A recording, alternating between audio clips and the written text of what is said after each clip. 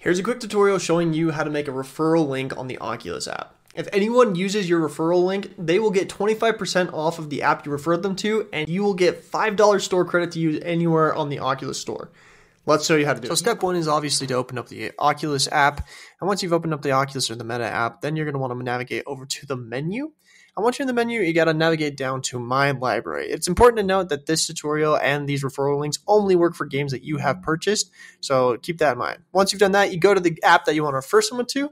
Then you can click on the little triple dot icon, and that will open up that little tiny menu where you can click on referral link. And from there, you will have this little link that you can copy or share via messages and stuff like that. But I just recommend copying it and sending it however you want to.